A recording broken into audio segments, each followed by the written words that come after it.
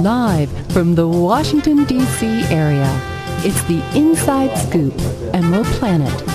All the ecology news that our viewers want to know.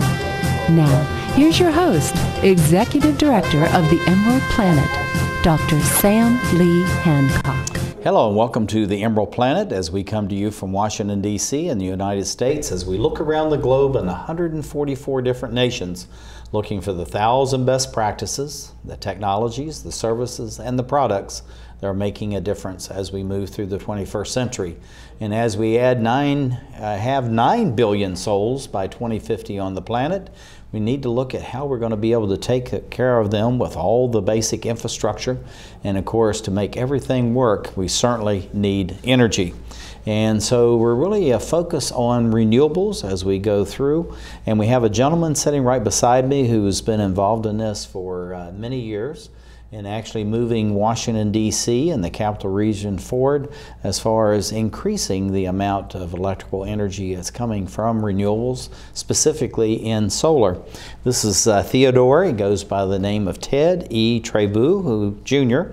He's the managing director of the District of Columbia Sustainable Energy Utility, known better as DCSEU. And Ted, welcome to the Emerald Planet. Thank you for having me, Dr. Hancock. It's a pleasure to be here. It's always good to see you, and I have to, full disclosure, we're working with Ted very closely, on a number of projects in Washington, D.C., and I think your organization's doing outstanding work. And Thank you so much. We've been around for just over three years now, and we are very, very excited about the future. Well, you're getting even more excited and you're moving out, but tell us what is the DCSEU? And your parent is all the way in Vermont, so how is such a small state reaching into DC and then other places around the United States? Sure. Our, our parent is Vermont Energy Investment Corporation, based in Burlington, Vermont. VEIC is a 27 year old nonprofit that got into the energy efficiency world a little over a quarter of a century ago.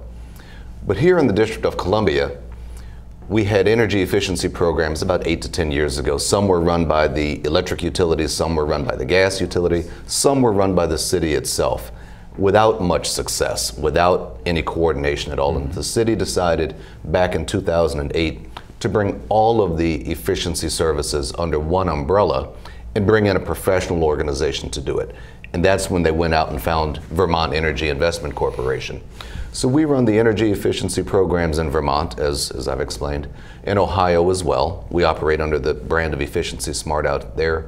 We run renewable programs in New Jersey, and we run energy efficiency and renewable programs in the District of Columbia. I think it's just incredible that you're uh, tying together the renewable energy, solar specifically, but also doing the weatherization, doing the uh, increased uh, insulation, also the home energy testing. How does all this fit together as a package, and why should homeowners and even commercial projects really know about this, and what should they know about bringing all these services together? Oftentimes, in the world today, when energy bills are increasing and increasing, energy is something where you can take a hold of. You can gain control over it. Your rent, your mortgage will continue to increase, but you can really get control of your energy bills. And a lot of times, people don't understand how they can take control of their energy bills. Uh, we help them go in and do the diagnostics, we do the audits, and then after we perform an audit, we have at least 10 or 15 different options for either a resident or even more options on the commercial side to help package a program lighting, HVAC systems, heating systems, chillers, motors, fans, particularly lighting, and, and even solar, so that we can bring all of these things together to optimize energy efficiency in the home, in the small commercial space, and in large commercial spaces as well. Well, I know this is uh, really a move by City Council and the Mayor of Washington, D.C., that they want to be the most green city in the United States. Many cities competing with Chicago, New York, L.A., and uh, many others. And so it's important that people really know that you're there and uh, you're reaching out. But I know there's a special component that you have that you don't normally think about. it's called uh, social equity. What is social equity? How is it defined? And why does DCSU have that as part of their charter and the mandate actually to be able to operate to do all these good things in the in the capital city? Right. Social equity is very important to us, and the way we look at it is that the cost of energy is more heavily borne by low income residents. If you're out there making $200,000, $300,000 a year and your energy bill goes up by 20 or $50 a month, it doesn't really make a big hit in your household, in your daily lives. If you're making much less money, $50, $100 a month is an extremely large amount to have to absorb in terms of an energy bill. We are funded through a public benefits surcharge, so all ratepayers residents and commercial ratepayers and the federal government as well. The federal government is the big cat in the city. Um, everyone pays in, and therefore everyone is entitled to services from the program. And the district wants us to measure the social equity work that we do very, very specifically. The district wanted to make sure that not only were we helping people reduce the amount of energy they were consuming and therefore reduce their electric bills, you know, cut down their carbon footprint, but we also wanted to create jobs for DC residents. We have to create the equivalent of 88 full-time jobs a year that pay living wage, not minimum wage, living wage mm-hmm. for district residents.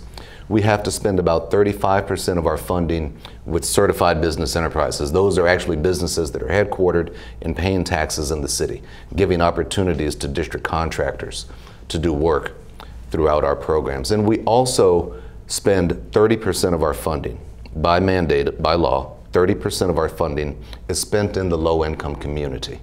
Without our assistance, oftentimes low income residents would be left out of the energy efficiency projects. They are expensive. There's no sense in denying that. And so we want to make sure that the low income residents receive actually more uh, value than they're putting in, but we want to make sure that there's equity. Mm-hmm. And, and so uh, we have those three facets of our work. Traditionally, when this work is done all around the country, people are just trying to save energy, which is great.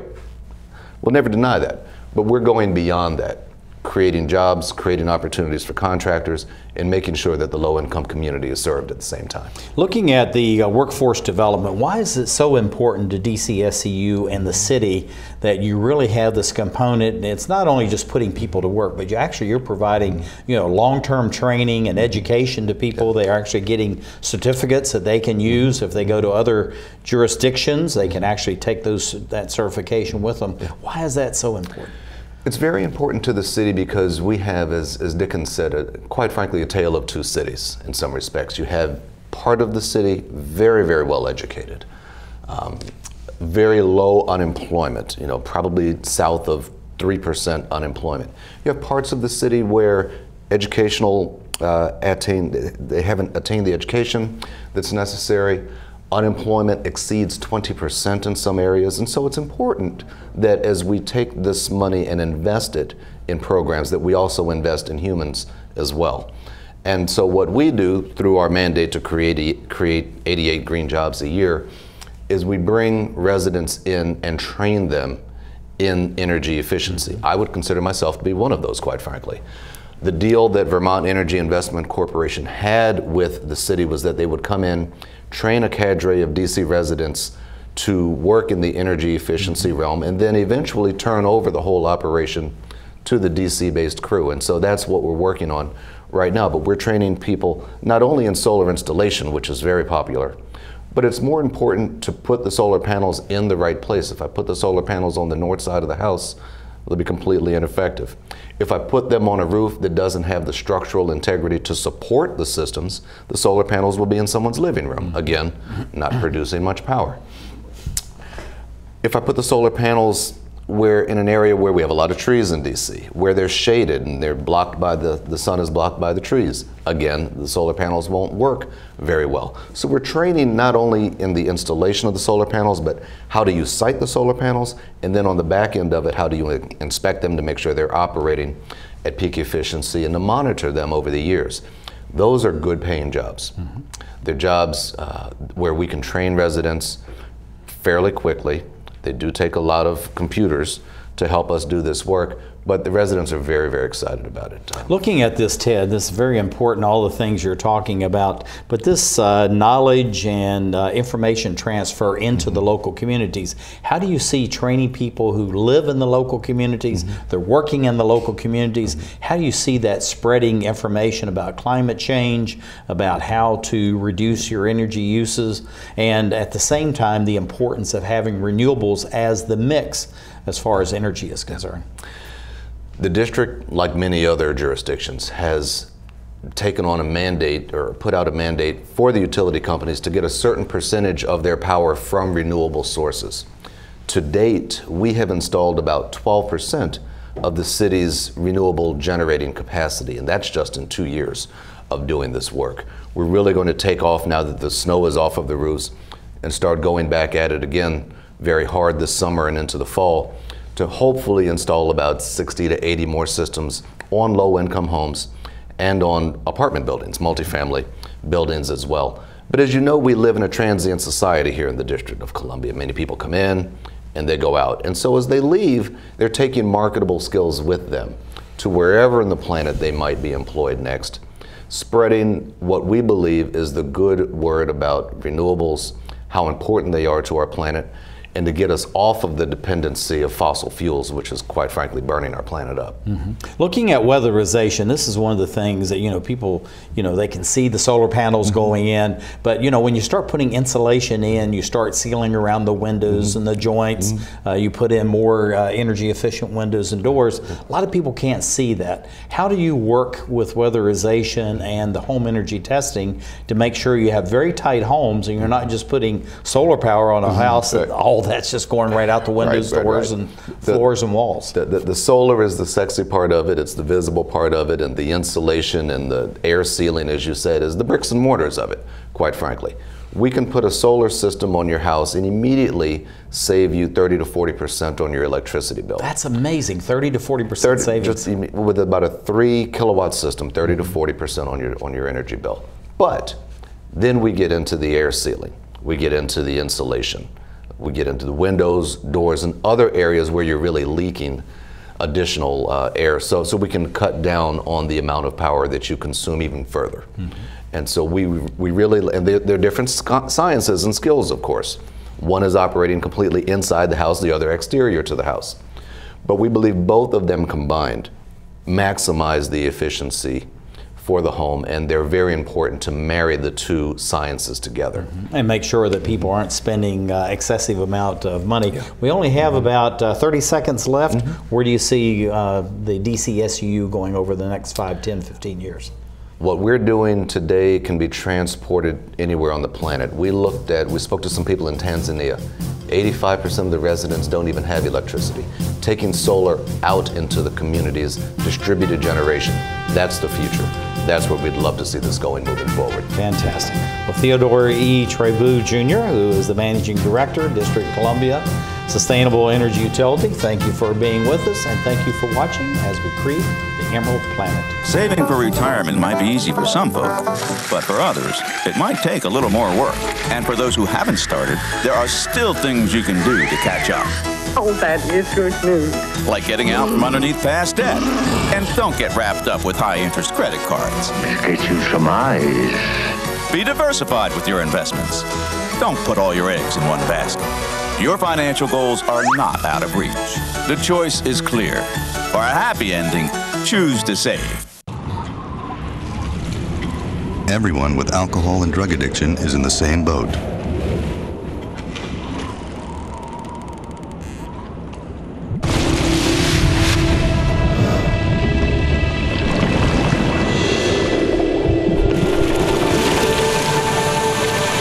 With treatment, you can find solid ground.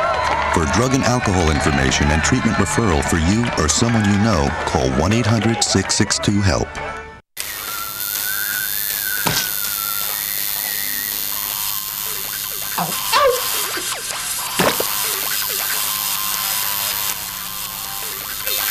Dude, are you sure you want this tattoo? Because just do it.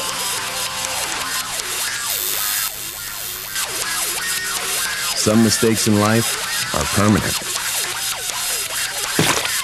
like hearing loss. To learn how to protect your hearing, visit asha.org.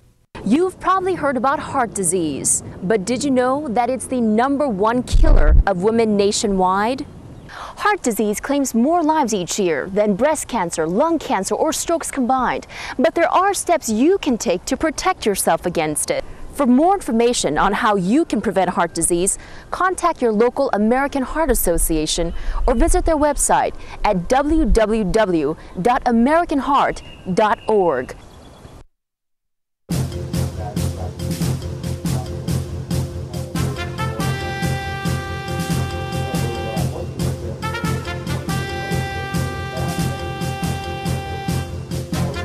We're back to the Inside Scoop Emerald Planet. Here again, your host, Dr. Sam. Hello, and welcome to the Emerald Planet as we come to you looking around the globe for those thousand best practices, the technologies, the services, and the products that are making a difference as we move towards 2050. And by the time we're at 2050, it's estimated we should have about 2 billion new people on the planet. And so, how are we going to be able to take care of all these people at the same time to make sure that they have an increased quality of life and not just existing? And so part of all this is not only to develop the renewable energy that's needed, provide the food, the fuel, the fiber, but also to provide the training and the education and the job that's needed to take care of them so they can in turn take care of their families. We have someone here who has a global solutions organization called CTI Global Solutions, Dr. Dee Carroll, President CEO in Washington, D.C. And Dee, welcome to the Emerald Planet. Thank you for having me. Glad to have you here. And tell us a little bit of the origin of CTI Global Solutions, what that means, and uh, some of the things that you've been doing over these past years. Okay. Well, CTI Global Solutions is a human capital management firm. And we started out 25, almost 26 years ago to support and provide opportunities for residents of the District of Columbia who ordinarily wouldn't get an opportunity, uh, as well as we branched out to many states throughout the nation. And um, we started with admin, clerical, um, engineering, IT, and so, so forth. So it's really a broad uh, brush as far as any kind of employment opportunities. Yes. What is workforce development? We hear this term, it's mm-hmm. used incessantly, and but I'm not sure I've ever heard anybody actually really define what workforce development oh. is. well, workforce development actually is preparing uh, workers for the workforce. Uh, you want to develop their skills, enhance, uh, you want to work with them to make sure they keep up with the latest and the greatest.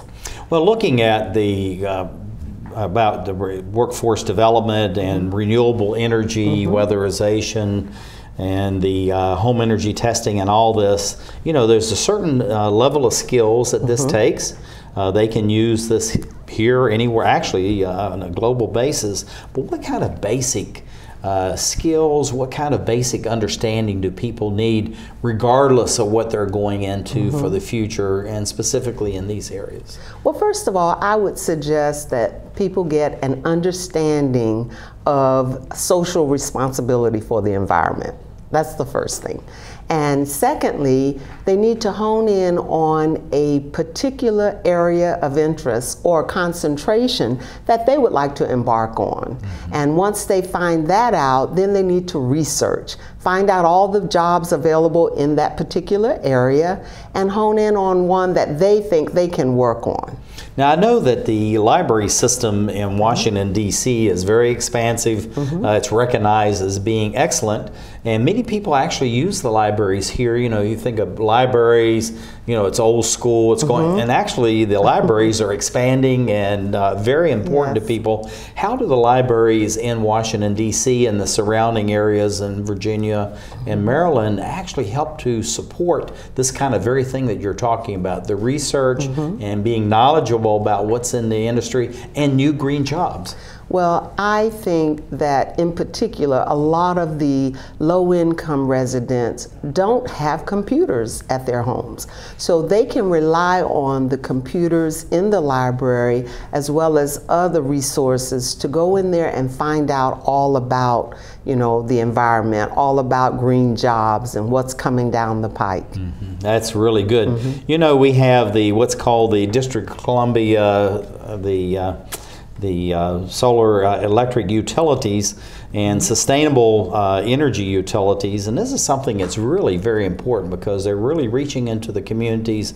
They're trying mm-hmm. to provide weatherization to yes. reduce the cost that people have and all that. And I know that you know your company's been around a long time. Mm-hmm. These guys are expanding at a very rapid rate. Mm-hmm. So how do you collaborate with an organization that's very technically uh, oriented at the same time reaching into the community through a company like CTI Global Solutions? Solutions? Well, first of all, I would like to just say we're very, very excited to be um, partnering with the DCSEU and also to be a CBE in the District of Columbia.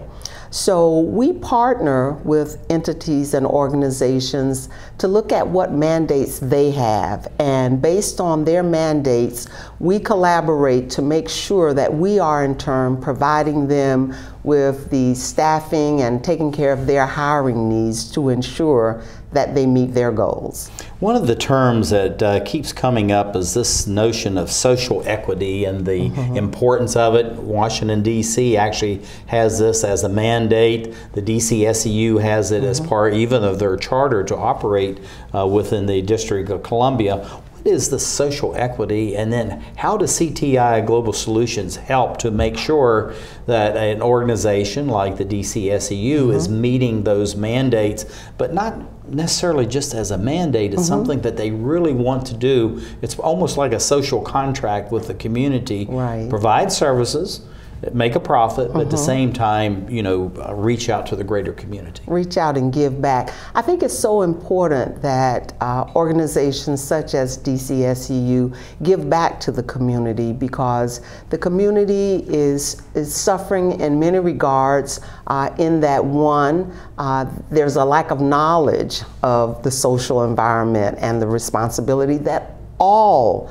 uh, residents have a responsibility for. And so the fact that they're going back to reach out to the community, we really embrace that. And any way we can help, you know, we are ready to dig in. Uh, in particular, CTI can get out there and, and do out community outreach as well, uh, speak to the colleges and, and high schools about uh, green jobs and what's coming down the pike and preparing them, offer seminars as well for the community residents who may not even realize that this is going on. I think it's really important mm-hmm. on this uh, new green initiative, the green mm-hmm. jobs. I know that Washington, D.C., uh, through the city council, the mayor, and even the agencies within the city are really dedicated to make this a very green city, and that mm-hmm. means you know trying to reduce the energy usage and uh, make sure that the water is properly mm-hmm. managed. You know all these things of natural resources at the same time to have a very beautiful home. So how can people that as they gain these new skills, mm-hmm. you know, for this new green economy, how does that help to expand the understanding within local communities so that people more and more want to embrace this and address the issues of climate change within a very local community mm-hmm. situation? Well, first of all, I think knowledge. You know, you gotta have the knowledge of what's going on around you.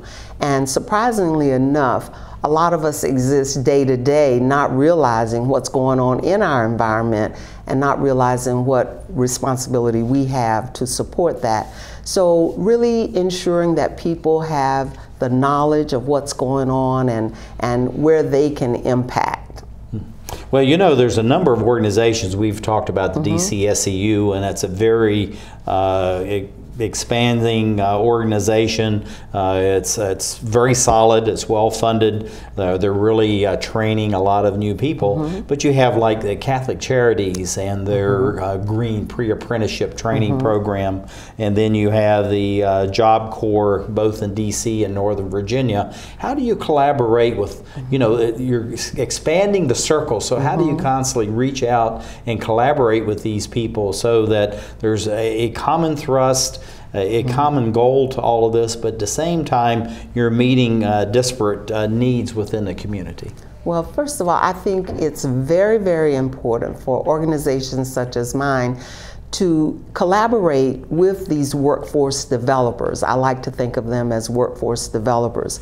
Um, we can get talent uh, from these organizations. Uh, people are going there to get their certifications, to get their training, and it behooves us to be in contact with them because the talent is available. When our clients who are committed to green um, to the green environment and green jobs, when they call us, we need to quickly be able to find that talent and place them. So collaborating with the developers or the workforce developers, it's very, very important because it's a win-win. It's a win-win for the uh, workers who have gotten the training as well as my organization who's looking for them. We talked about this a little earlier as far mm-hmm. as using the libraries and going mm-hmm. in, doing the research and all that. But there are any three, four, five things that people in the community should be doing to prepare themselves as we move forward the 21st century, this mm-hmm. new green economy, so that they they're not waiting till the job is there and people are looking for it, mm-hmm. but they're preparing themselves to be able to step in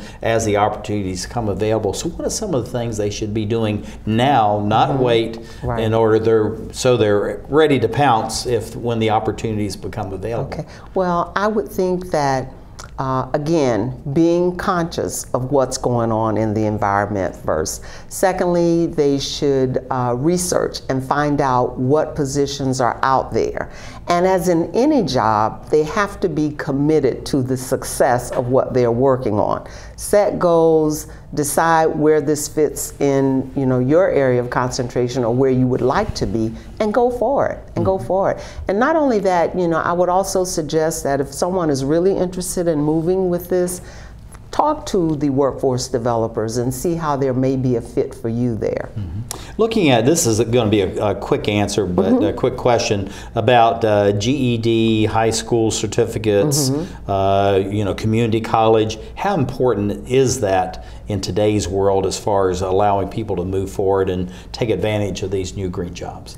Very, very important. Competition is very keen, it's very stiff, and so I would say that's the foundation. Start with that, and then you can move on into your area of interest. I know one of the things in working with the AFL-CIO and others, you know, they wanted to, you know, basic eighth grade uh, mm-hmm. education as far as reading, writing, mm-hmm. and uh, math skills. So that's, uh, I'm glad mm-hmm. to hear that you're endorsing that. We only just have about uh, 30 seconds left. Okay. What do you see for the future of uh, CTI Global Solutions over the next 5, 10, 15 years as you're mm-hmm. moving forward with so many mm-hmm. others in this uh, new green jobs area? Well, I see CTI as being the preferred preferred solution for human capital in the environmental uh, type positions. Uh, I think it's incumbent upon us to set a green division where we hire green executives and, and move forward. Well, I think it's absolutely fantastic. We have sitting with us uh, Dr. Dee Carroll, President, CEO of CTI Global Solutions. Thank you, mm -hmm. Dee, for uh, being with us. And thank you for being with us as we look at this notion of green jobs, uh, allowing people to be into the work workforce being prepared as we create the Emerald Planet. I need a job. Necesito trabajo. I would like to speak English better. Me gustaría hablar inglés mejor. I want to be a US citizen. Quisiera ser ciudadano de los Estados Unidos. For over 35 years, por más de 35 años, the Hispanic Committee of Virginia has been serving our community. El Comité Hispano de Virginia ha estado sirviendo a nuestra comunidad. Job training and placement, capacitación, ayuda para conseguir trabajo, education for children and adults, educación para niños y adultos, immigration, naturalization and medical referrals. Ayuda para los procesos de inmigración y naturalización y orientación sobre médicos are a small part of what we do. Son solo una pequeña parte de lo que hacemos. For help, information or to volunteer. Para ayuda, información o para ofrecerse como voluntario. Contact the Hispanic Committee of Virginia. Comuníquese con el Comité Hispano de Virginia. Helping everyone participate more fully in American society. Ayudando a todos a participar plenamente en la sociedad norteamericana.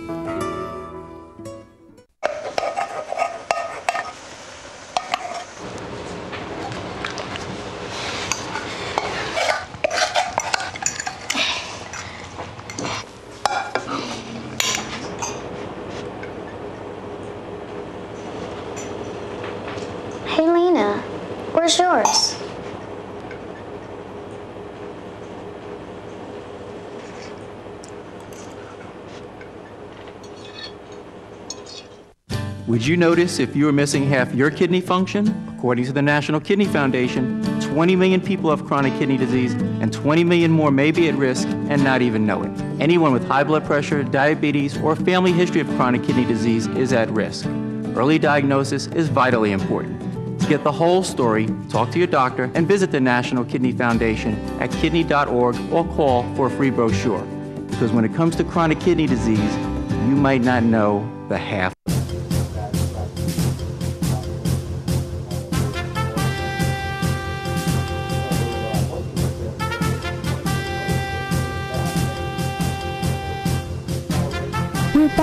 To the Inside Scoop Emerald Planet.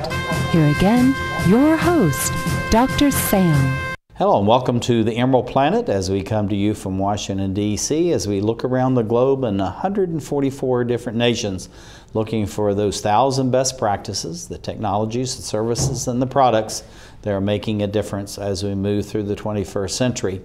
And we have uh, nonprofits as well as for profits that are working in the area to absorb these 2 billion youth folks that are going to come to the planet by 2050 to provide them the job skills so that they're actively engaged in the community and also gain the new skills, the knowledge, and the ideas that's needed as we move to a new green economy. And I have someone sitting right beside me. Her name is uh, Celia Sterling. She is the Workforce Development and Site Manager. This is a long title there, Celia. Of the uh, Green Pre Apprenticeship uh, Construction Program of the Spanish Catholic Center of the Catholic Charities of Washington, D.C. Boy, name doesn't run out, does it? anyway, Celia, glad to have you with us. Thank you. Thank, Thank you, you for being here. And I know that you're doing excellent work because we've known about the Catholic Charities for a long, long time. So tell us a little bit about the Spanish uh, Center of the Catholic Charities in Washington, D.C. Well, we uh, we've been serving the community for 45 years now. That's a long time, 45 years. In all the area of Mount Pleasant and West Washington. Uh, we serve the underserved, the low-income uh, community. Uh, we provide uh, integrated service where we have uh, medical service, dental, employment, and the construction program. I tell you, I think it's incredible because you're really looking at people in a very holistic manner and getting them involved, you know, as far as the dental, the health, and I know you even do nutrition, Nutrition classes, classes. and uh, basic education, reading, writing, mathematics, and all that. So, why? What's the driving force behind Catholic Charities that's looking at such a comprehensive view of the human being that comes into your centers? It, it being able to provide hope and help. Hope By- and help. Okay, It's, it's, it's both. Uh, and then we see the clients, uh, the customer, as, as a whole. That they need the, whole- all the services in order for them to, to move up, in order to get used to the American um, culture. Uh, so in the program that we've been running for 12 years now, uh, the basic of math and reading and all the uh, certifications and safety training, all, all gear for them to improve, to get better, to have a better job, and to be able to take care of their families. Well, I know the, the unique thing about you is that in uh, uh, non-traditional job trainings, you're actually one of the leaders Yes, in the yeah. community because you have many women that come in learning construction trades, and then you have a mix as far as you know other different trades. Uh, why are the the females uh, comfortable and they come in and become very actively engaged in these non-traditional jobs? Well, because uh, we have a setup of a small training group, and uh, we provide and we uh, mo- motivate the, the women to participate in construction. Construction is not only for men; it's for everyone that interested to learn to learn this skill that can be transferred to any other area. So we have uh, some of the participants, the architects, engineer. We have people who just want to be decorator, who want to take care of the houses. So the motivation is there, the location. Uh, most of us, of the staff, we are women. So we're very active on, on promoting uh, and, you know, making them feel comfortable and, and learning about the, uh, the construction industry. I think it's absolutely fantastic. Now, tell us a little bit about this Green Pre-Apprenticeship Construction Program. Very long name, and but I know that it's it's very involved. And when people finish, I think that they have like a special certificate or something they Yes. can receive. So tell us, how do you get into it? What is it? And then the outcomes of that. Okay, uh, this is a 12-week program, very intensive, where the student come five days a week. Um, we have two sessions, one in the morning, one in the afternoon, and we have four different instructors certified on national industry certification. Uh, so they get. Uh, So they're really getting top Yes. notch and, and very excellent instruction when Yes. they come in then. And then we work with Habitat for Humanity here in DC, where they bring we bring the student every week uh, for them to learn everything that they they practice in in classroom. They're able to to help out in Habitat for Humanity with those volunteer hours that at the end of the job, these houses are for the low income families. So we emphasize the math, we emphasize the English as a second language, the work on safety. We do OSHA, we do uh, CPR. And then we spend a lot of time on electricity, um, solar panel installation. That's where, how we're getting into the green. Uh, they do weatherization. They also uh, work uh, um, many hours on what is green building techniques. So when they come out of this program, they really have the, the 12 weeks. My understanding is they go all day, and so they really Yes. have a lot of hands-on Yes. Uh, work experience as well as they have the instruction and then the certification Correct. by these uh, nationally recognized instructors. Correct. So uh, when you're reaching out to those instructors, what do you look for besides being nationally certified? Are there other traits that you like the instructors to have so that they actually meet the needs of these students? Well, one of the main uh, qualifications that we ask for the, the, to be bilingual. And we've been so lucky having uh, volu- even volunteer instructors who speak not only English, Spanish, or even French. Because lately we have not only Latino, but we're getting uh, African population that only speak French. And of course, the So- Haitians too. Yeah, Haitians. So for us to be able to, uh, on their own language, be able to teach the uh, the the skill Mm-hmm. is very important for us. Now, looking at the uh, practical transference of this, uh, many people, when they're here, as you were talking about earlier, they're transient. They, you know, they're here, you know, six months, 12 months, 18, 24. They may be going other places. Uh, what can they take with them to show that they've actually been through your program? They did well. They have this practical hands-on experience what can they demonstrate to someone in Des Moines or Chicago or or Ant- uh, San Antonio other places But around the the good United thing States that this is national certification. Uh, this is the NCCER. This is the National Center for Research and Construction, and so they can. It's movable, it's transferable to any other state. Uh, as part of the program, also we spend a lot of hours on job readiness. We prepare them for job interview, filling out application, doing it online, and also be able to um, prepare a, a resume that, that they can show up what they have learned. Oh, so uh, you're doing everything for them. So when they walk out of there, it's almost like they're freshly minted Yes. and they're ready. They have their resume. Now, what about tools and hard hats and uh, you know special boots? How do they gain these things? Some of these things are quite expensive. Expensive. So, what does the Catholic uh, Charity Centers do to make sure that you know the very next day they graduate, they can go right onto the job site and, and be ready to go to work? Well, one of the things that we do is that the student doesn't have to buy anything in order to be in the program. We have the tools, we have the hard hat. Uh, so while they're in the program, even to go to Habitat, they don't need to purchase anything because usually they're low income or they have part-time job or they're unemployed.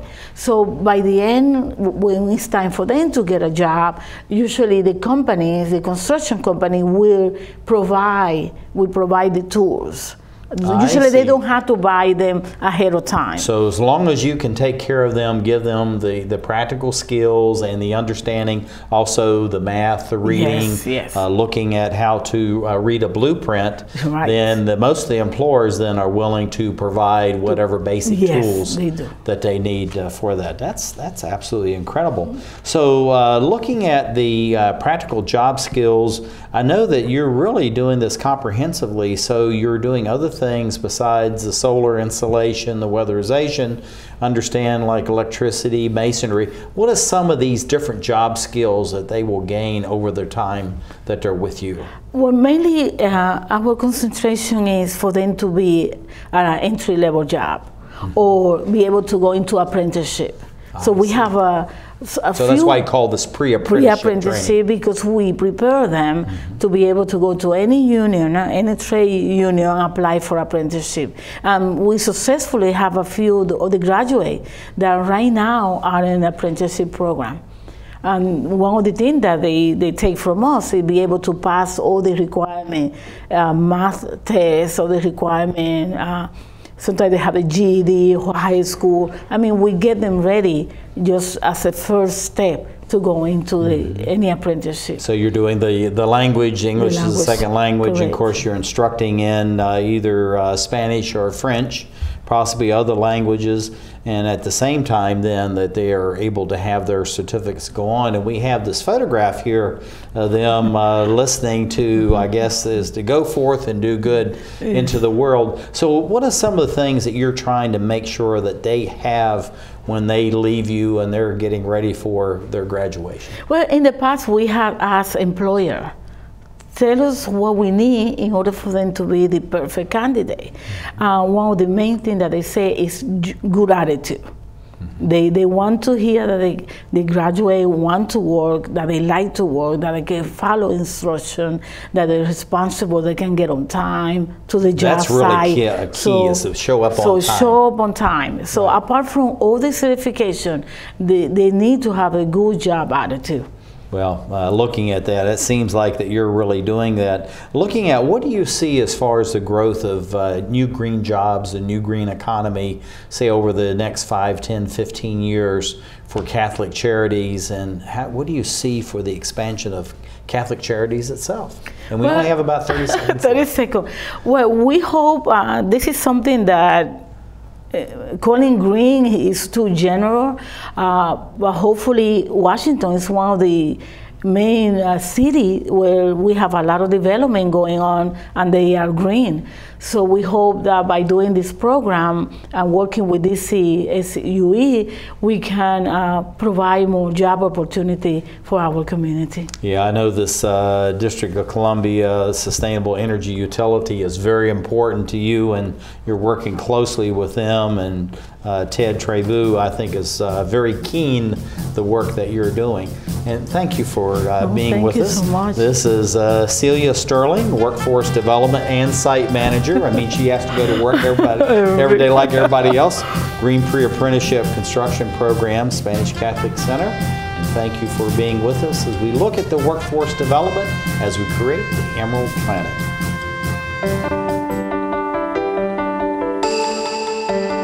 I helped turn my child's public school into a whole new kind of school. One with a curriculum that really motivates kids. One that has extended hours, six days a week, year round. With loads of academic, cultural, and recreational activities. One that has support services like medical and dental right there. A school where parents' involvement is encouraged, where teachers have more time to teach, and students are excited about learning. There's just one problem. My child doesn't ever want to come home. You can help turn your school into a community school for excellence. Find out how. Call 1 877 LOVE to Learn. It's coming. Right to your neighborhood. And when it does, you may be surprised. It's your Social Security statement of your benefits, and it's going to help you plan your financial future. Your benefit statement will tell you how much Social Security you're eligible to receive and when you'll get it. Then you'll know how much you need to save for retirement, because that's coming too. The future is in your hands. Choose to save. The toxic fumes from this meth lab are seeping into Jamie's sinus cavity. Ammonia vapors invade her throat. Toxic gases fill her lungs. Jamie's body is deteriorating. And she doesn't even know it. Jamie, dinner. So, who has the drug problem now? Find out how meth affects you at drugfree.org slash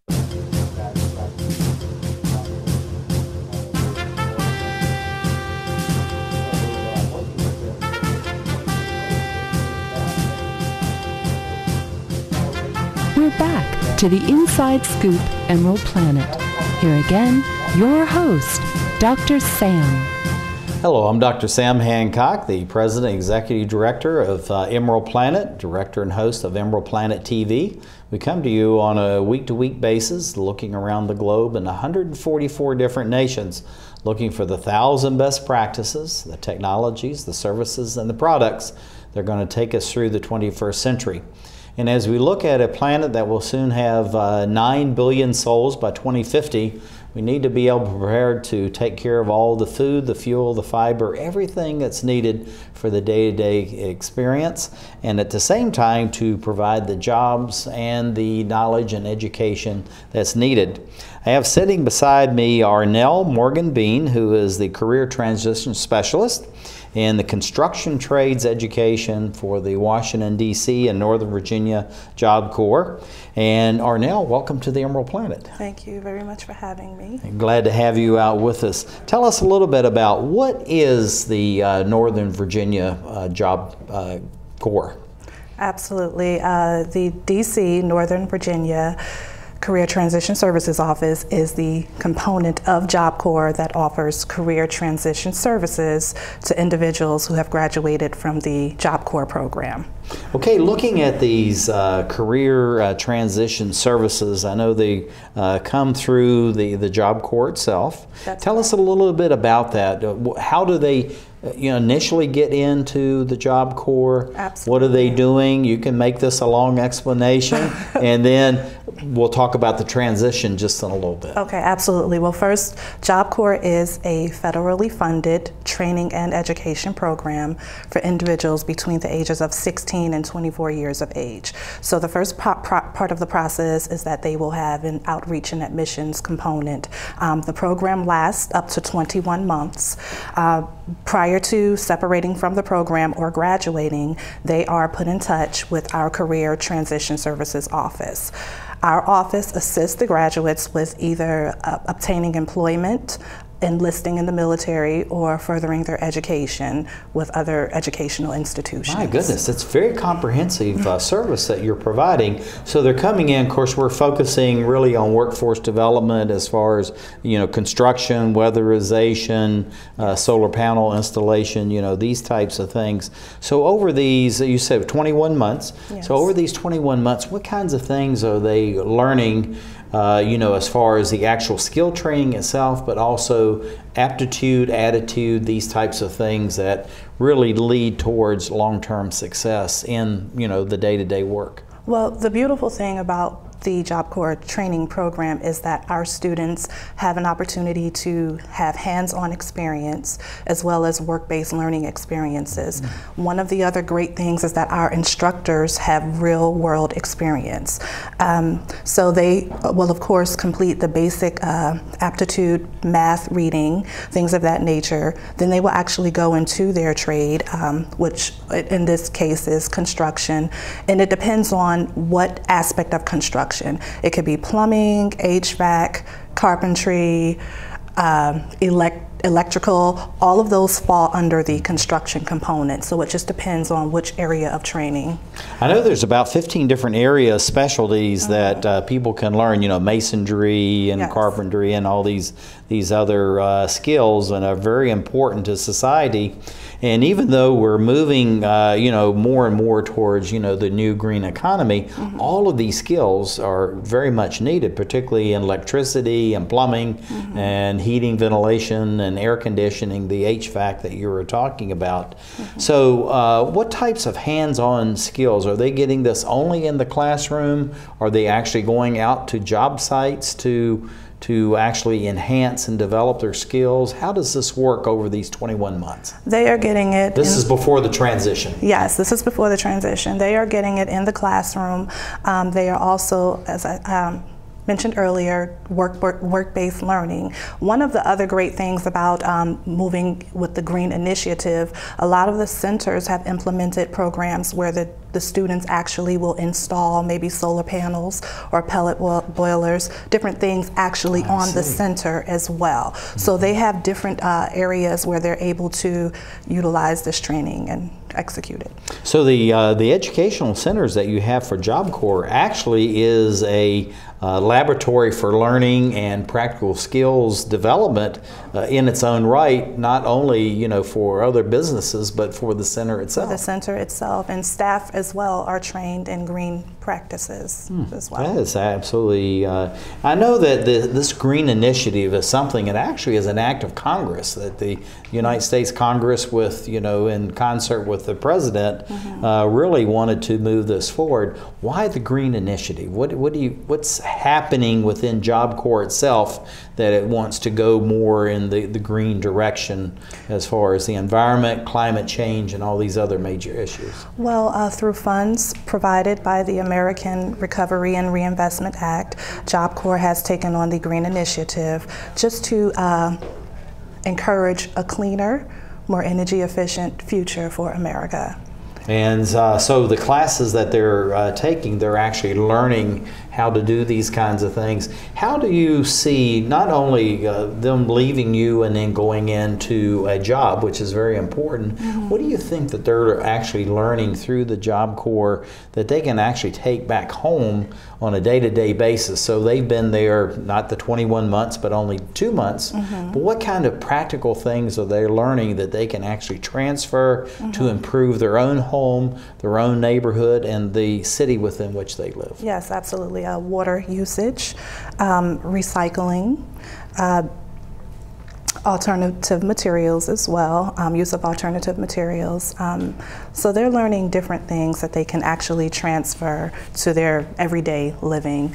Um, lights, you know, making sure that you're not keeping lights on and things of that nature. Okay, so very practical things Very that they can practical, do uh, within the area. Now, looking at the uh, the math, the reading, uh, and um, you know, looking at uh, plans, so they learn how to read blueprints and those kinds of things. Mm-hmm. How much time is actually spent in you know these uh, areas uh, versus you know the actual skills where they're learning you know how to do carpentry or masonry Mhm. or plumbing or something like that. Okay, well, um, initially with the basic competencies, um, that generally is a few months, about five to six months, um, and a lot of it is at the pace of the student as well.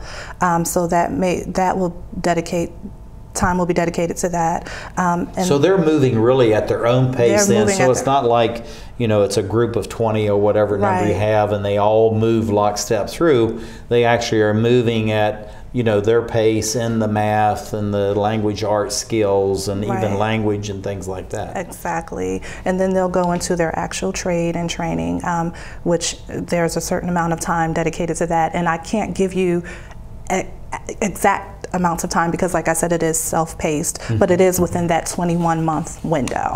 Um, and then they'll go on into their work based learning, which typically is about a three to six month uh, time frame for their work based learning, where they'll actually go to an employer site and actually do the uh, work that they have learned. Oh, I see. Now, is that part of the transition, or is the transition after they go through the 21 months of uh, training and education? That is uh, before the transition. So once they have completed uh, their basic competencies, the in-class learning, and also the work-based learning, then they will transition. They'll graduate and then transition out, and that's when our, our office comes into play. Oh, I see. Okay. So, all right, they've gone through the basic competencies, mm-hmm. they've gotten their math and their English, their language arts skills to a certain level. They test out, I would assume, through all of that. And then they've, they've done the skill training, they've actually done some on site work. So, then what is this transition and how long does that actually take? Okay, so once they've done their training, they will have acquired a GED or high school diploma and a certificate uh, in whichever trade in they their skill in area. their skill mm-hmm. area, and then they will transition out to our office. Um, and there are many career transition services offices throughout the nation. But as it relates to the DC and Northern Virginia area, our office will assist them with uh, job readiness skills, just kind of reiterating what they've learned in Job Corps. Um, interviewing skills, job placement. We also provide other supportive services where there may be need for housing, um, transportation, and different things of that nature, childcare. Yeah, I know one of the things too is just you know this uh, notion of dress for success. Many people you know, kind of make light of that. But you know, dressing for success and uh, being ready to go in for a job interview, have the confidence to share your education, the skills that you've gained over, you know, this in essence uh, two years worth of time is very important. So, how do you work with them so that you know they, they go out and they have the actual confidence mm-hmm. that they've demonstrated they can do it, but how they can convey this to a future employer? I really can't do this. Well, um, one of the things that we have done is uh, implemented uh, workshops where we'll actually have employers come out and speak with our graduates and actually communicate to them what it is that they are looking for. Um, and once they have that, a lot of times they hear it from us and it's like, okay, you know, we hear it from you, but to hear it from an employer that may potentially hire you, it's a little different. And then we've also uh, partnered with uh, different community partners that help us to provide the clothing that they need to dress for success. Okay, fantastic. Now, when they go out on the uh, the job and and you know they've had their interview and people are interested, is there any monitoring? Do you go around to the job sites and you know over a few months or a few days, few weeks? You know, to make sure they're doing okay, they're showing up on time, they're staying, you know, for the full day's work, and mm-hmm. you know, they're communicating properly. How does all of that get uh, massaged so that they, they fit in nicely and they're developing a long term relationship so they stay there and they're not just hopping job to job. Right. One of the things about Job Corps is that we are all about partnerships. So when we place our students, because we are very instrumental in placing them in jobs, uh, we also like to develop relationships with employers. So with that, we do follow up not only with the student, but also with the employer, just to ensure that the student is meeting their needs because they do have hiring needs and uh, requirements as well. Mm-hmm. So we want to make sure that the, the student is showing up to work on time, uh, uh, dressing appropriately, you know, taking the schedule breaks, everything like that. And well, I think I think it's fantastic. Well, I think we've just uh, run out of time, but it's just really uh, wonderful, Arnell, what it is that you're doing, and uh, you've done a very nice job in sharing this with uh, everybody that's uh, watching this here and abroad. So this is Arnell Morgan Bean. She is a career transition specialist. It's a very good title, actually. Construction trades uh, and uh, working with the Job Corps in Washington, D.C. Thank you for being with us as we create the Emerald Planet.